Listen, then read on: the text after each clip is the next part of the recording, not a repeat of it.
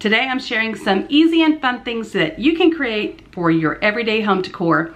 And for this video, I'm using things that came completely from my stash. So I didn't have to buy a thing.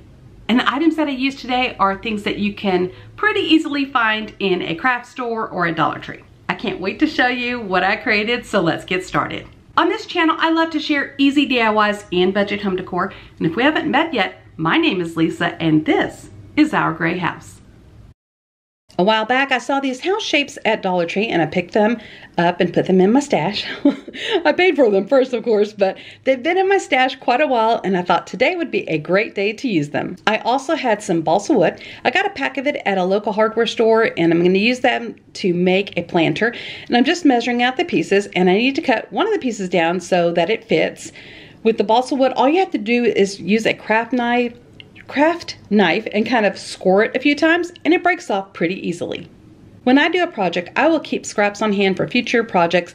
Dollar Tree carries, or did carry, some rub-on transfers with a bunch of words, so I'm going through my little stash and I'm pulling out the leftovers, and I then start laying out all the words to see how I can make them fit best. And I put some of my Waverly paint into squirt bottles. Now my friend Tammy over at the Rusted Willow puts her paint in these squeeze bottles, but like the kind that Cici's Pizza has that their salad dressings in. And hers are pretty cool because they have like the no leak spout and stuff. Mine are pretty basic and I forget where I got them, but they get the job done. So I put some paint onto one piece of the balsa wood and then I paint the balsa wood. I paint the outside of the house frame and the back of the house shape and Waverly chalk paint in the color plaster. Now to rub on the words, they rub on pretty easily and I just placed them around until I like how it looked. And now I'm using hot glue to attach everything together. I put one side on first and then attach the other house shape. I had this squared out and I don't show this, but I stained it with Waverly Wax in the color Antique to add some color contrast. And then I cut it down to size and I added it in to the planter. And it was tight enough fit that I didn't really have to glue it down or anything, but it's also not really a handle that you're going to be carrying anything heavy. So I added some foam that came with a package that I got recently. I use that as a base for my greenery and I just added some greenery to it and that's it. And I think it adds just the right pop of color and you could change this out for the seasons, add florals if you want to, all kinds of things. Hey y'all, this video is part of a playlist that I host every single month with my friend Sarah from Jujubee DIY. It's held on the first Friday of the month. It's called the First Friday Playlist.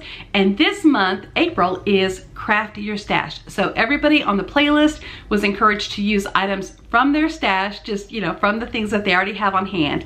And this month's guest host is Christine from DIY Craftaholic. As usual, the links to the channels and the playlist are gonna be in the description box below. So I hope you go and check them out. I had this mini rolling pin in my stash and I stained it with Waverly Wax in the color Antique and I'm just taping off the end so that I can add some lines when I paint it. I'm going back to some old school favorites and using Rust-Oleum's Chalked Ultra Matte paint in the color Charcoal. Everything was going fine until I went to remove the tape and I didn't remove it um, like cleanly so the line wasn't crisp.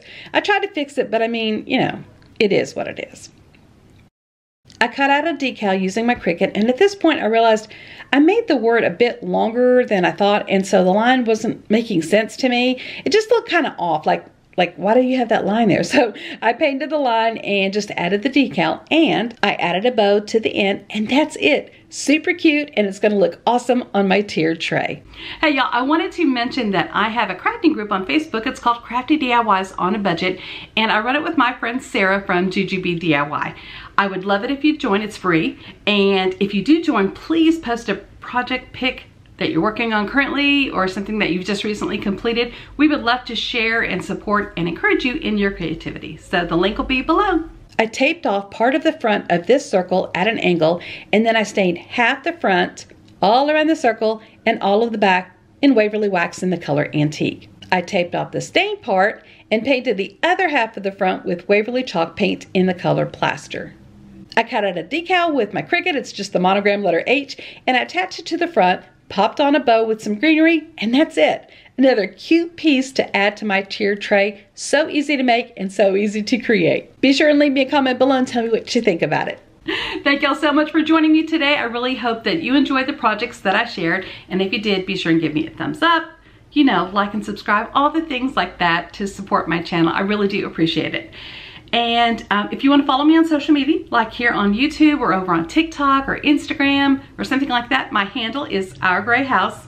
But just don't follow me in real life though, because that's creepy. Bye!